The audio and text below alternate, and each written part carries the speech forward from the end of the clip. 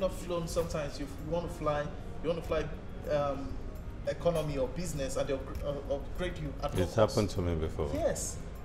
So it's not like they can't do it for more people, but just sometimes they just look at you and like, And I've upgraded myself. I hope. I hope Virgin Atlantic is not.